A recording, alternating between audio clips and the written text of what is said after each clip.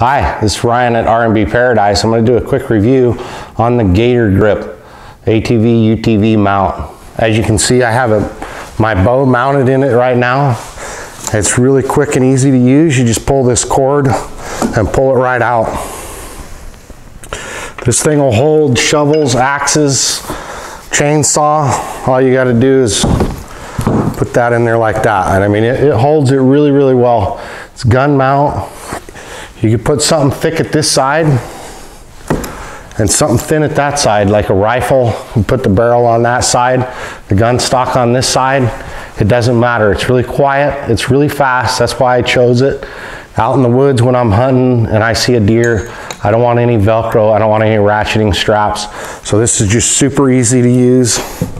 Just pull the strap, drop your whatever you're holding in there and let it go. And it, it really, really holds it well. I'll put a link in the description on Amazon. Uh, it's short and to the point. Again, this is Gator Gripp for ATV, UTV mount. You mount this on your quad or your UTV. This is Ryan from R&B Paradise. Please like and subscribe, and I'll talk to you later. Have a good day.